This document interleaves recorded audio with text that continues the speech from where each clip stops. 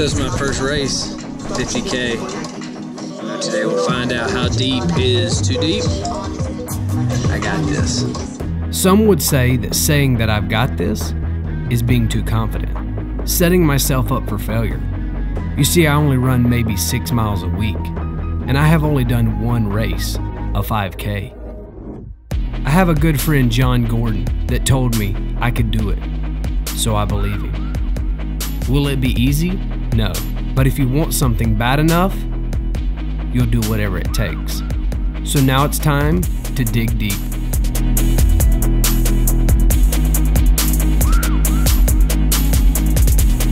So a little over seven in, uh, climbing goat right now, feeling pretty good. Uh, got a good group of guys I'm running with, hoping to finish strong today for sure.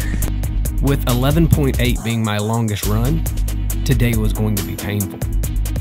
I now have officially done the longest distance of my life, just, just under 13 and a half. So my man behind me, super helpful, encouraging, and just just helping me get through it.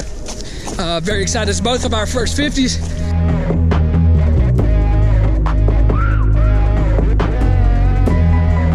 Past the halfway point for sure. Feeling good. Mentally, probably where I should be. Not mentally where I want to be though. You know, it's just one step at a time. One step at a time. I have tripped and fallen a few times, and I have pain in my hips like I've never felt before. But what will hurt worse? The pain or failing? So right now at about the four hour and 30 minute mark. Me and David are in good spirits, still running well. Just did our second loop of goat. Yeah, we're feeling it in our legs, but I know my family's gonna be there heading to the third lap. And I know that's just what's gonna give me the push because I'm way beyond the point of, that I've ever done before. Love y'all. I would say we're about a mile and a half into our third lap.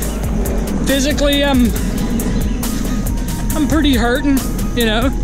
I should be. If I told you I felt good, I'd be lying. So I would say scale of 10, I'm probably eight and a half, nine.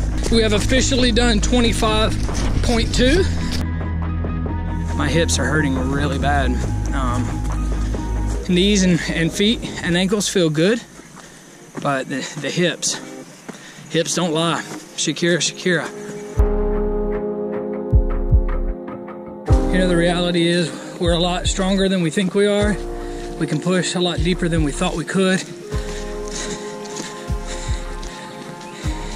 And me and David, we will make it to the end. We got this.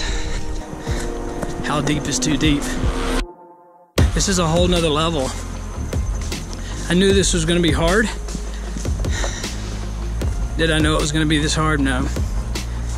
But it's given me a whole nother depth to know how deep I can go.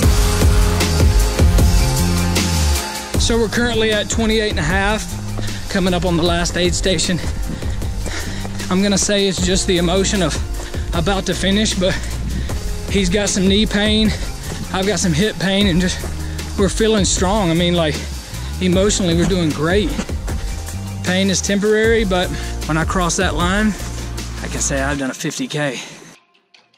With over eight hours on my feet and 29 miles behind me, I'm so close. I can see him coming for me.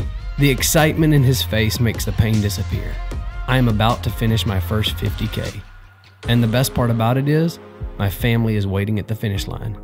Each time I push myself to find out how deep is too deep, the hole gets deeper and darker. I am able to push myself farther than I ever thought possible.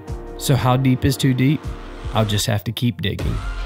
I could not have completed this 50K without a huge group of support. And you know what, John? I did it.